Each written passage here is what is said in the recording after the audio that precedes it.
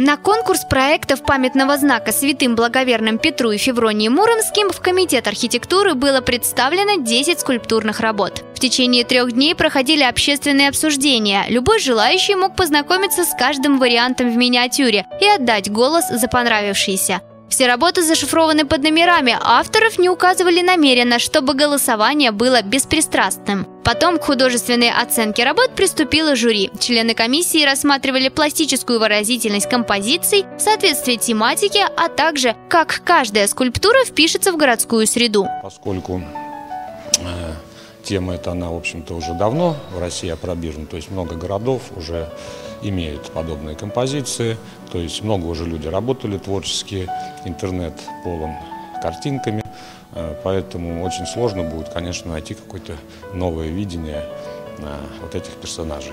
Тем не менее, авторы предложили разные вариации на тему семьи, любви и верности. Кто-то посадил Петра и Февронию на коня, кто-то в. Большинством голосов, а также решением комиссии были определены три лучшие работы.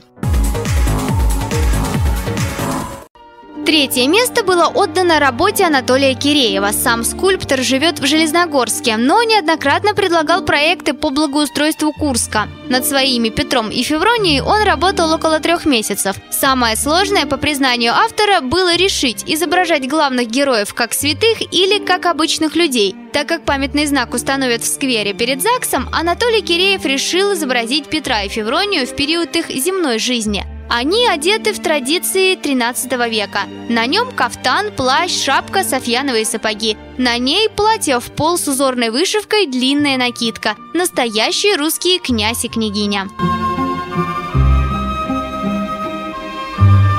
Скульптор запечатлел их в главный день их жизни – бракосочетания. На руке у святой целуются голуби, символизируя верность и чистоту.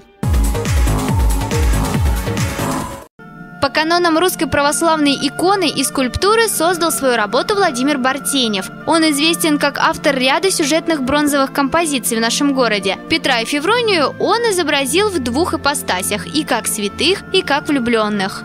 Поскольку э, рядом дворец бракосочетания молодежи, э, я счел уместным сделать колечко, э, которое в этот момент, в момент их бракосочетания Петр дает Февронии. В нарядах традиционный русский орнамент подчеркивает величие святых. Владимир Бартенев стремился уйти от портретного сходства с известными ликами, чтобы создать собирательные образы главных героев композиции. Его работа заняла второе место. Скульптура вызвала большой интерес у простых горожан. За это Бартенев получил даже приз зрительских симпатий. Я хочу поблагодарить э, тех зрителей, которые пришли на конкурс. Это уже приятно, что людей было много. Э, люди не остались равнодушными. Хочу поблагодарить тех людей, которые приходили и проголосовали за мой проект.